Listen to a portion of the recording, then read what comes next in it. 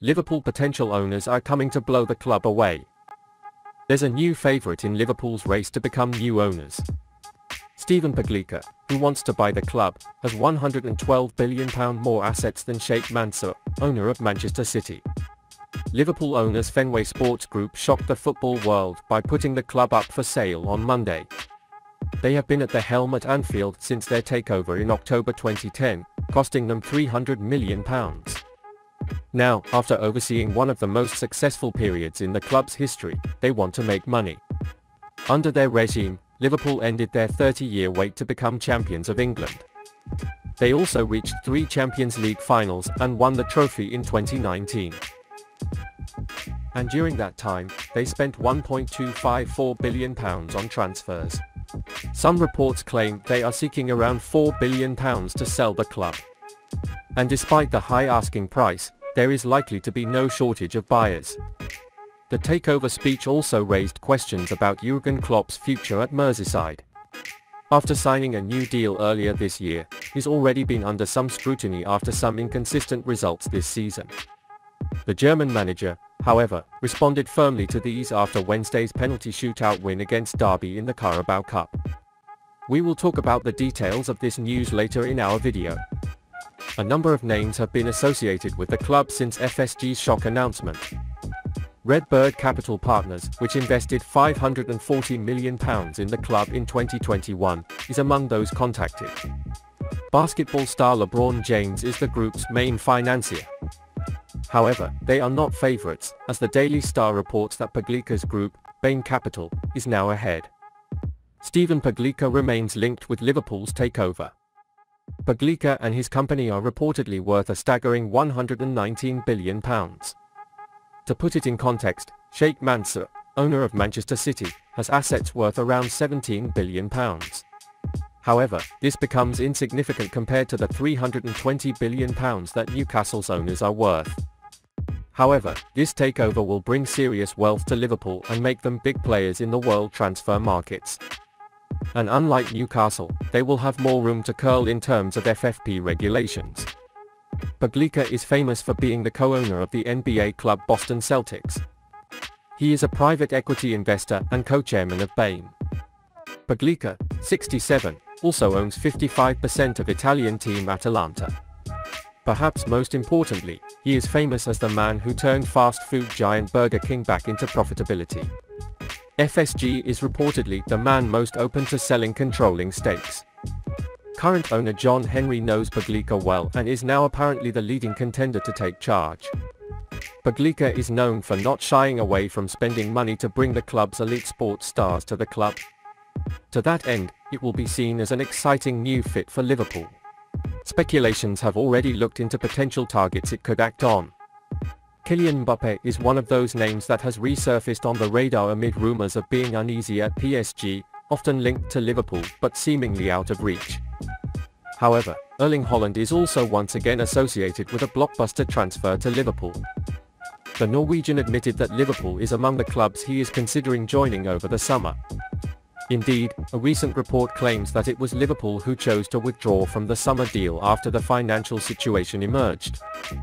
Haaland had a relatively modest £51 million exit clause in the Dortmund contract. As such, it was a deal that Liverpool was strongly attached to. However, the total cost of the deal would have cost Liverpool £300 million.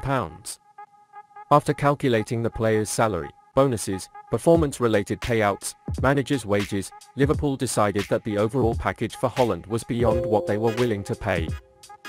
Liverpool's loss has since become Manchester City's gain. However, Liverpool's potential takeover by Pagliuca could lead to significant change in the future. The transfer of the two world stars we have mentioned may not be a dream anymore. Klopp said if it is planning to leave Liverpool in the middle of FSG sales interviews. Recently, it was reported that there could be a question mark about Jurgen Klopp's future at Liverpool should Fenway Sports Group part ways with the club.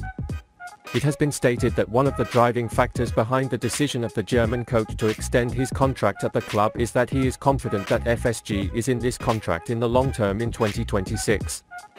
In addition to this, Klopp is believed to share a strong bond with Mike Gordon.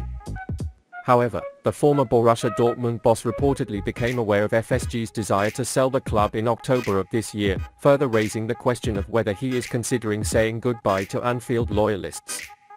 After Liverpool won 3-2 on penalties against Derby County in the third round of the Carabao Cup, Jurgen Klopp lifted the lid on his future at Liverpool. Chelsea has been sold. We're looking for investors. As far as I know, FSG is looking for investors and it's happening. Regardless, I'm committed to the club, he said. Nobody had a heart attack who heard the news, Klopp said. For me, that's just important, we keep going and planning as this process happens. Whatever happens, no matter if someone comes or whatever, it will take time, he added. It's safe to assume that Liverpool fans will take a collective view of faith after confirming that the 55-year-old manager has no plans to leave the club. With that being the case, the Reds are in desperate need of a roster restructuring and the Reds have been massively underperforming on all fronts so far this season. However, popular opinion is that Jurgen Klopp is the best possible candidate to steer the ship under such harsh conditions to ensure that the club recaptures its glory days once again under his guidance. With the club's high transfer budget, it's very exciting to imagine Klopp. Liverpool's rising star was selected for the national team. Liverpool players have spent this week sweating over whether they will make it to the World Cup this month. Roberto Firmino did not receive a call for Brazil, but Alisson Becker and Fabinho were among the invited players. It is unclear whether Virgil van Dijk, Thiago Alcantara and Darwin Nunez will still receive the invitation and are among those waiting to hear this announcement. However, one of the players who received good news yesterday was Ibrahima Konate. The 23-year-old had not previously been invited to the national team during the reign of France coach Didier Deschamps. He's only won two senior trophies in his career up to this point, but he's done enough to be invited to the national team this season. Konate could side with Manchester United's Raphael Varane or Arsenal's William Saliba in Qatar. It is unlikely that he will be the first choice, but the experience will be excellent for him and it is a great reward for his form since joining Liverpool. Van Dijk and Diogo Jota congratulated Konate after the announcement.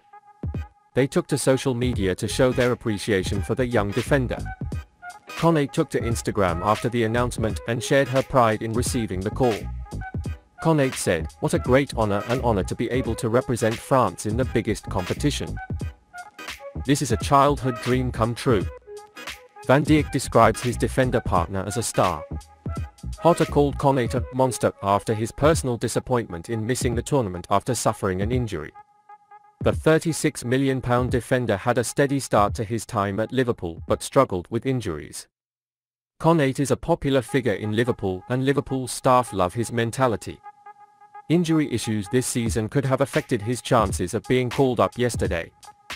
However, he's back in full form at the perfect time and has one final Premier League match to go before he joins France. Konate is the long-term successor to Joel Matip for Liverpool, who is also suffering from injuries. He has the perfect player to learn from Van Dijk and his mentorship has helped Konate develop.